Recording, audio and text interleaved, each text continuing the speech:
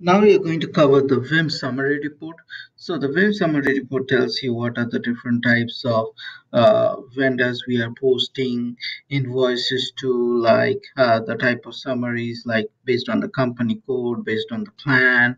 So it gives you the summary details uh, related with vendors, related with exception reasons, and the different document statuses.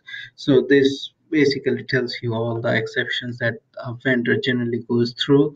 So you can pinpoint on sometimes this is very much used where the vendor asks you how how can i make my accounts payable process means the accounts receivable process much better?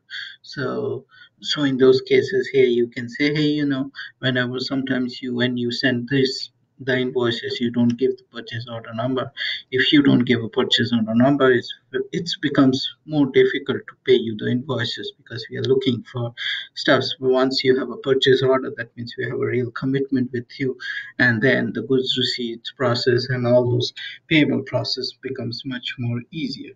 So in this way here we can help the vendor get their payment early and also help us not to do the extra work because the vendor is sending some invoices with the proper information. So it also reduces the ping pong between vendors and us, between the company, so that uh, we are going to pay them on time and also they're going to give us the information on time based on what uh, what they really has to get money from us so and what really we owe to the vendor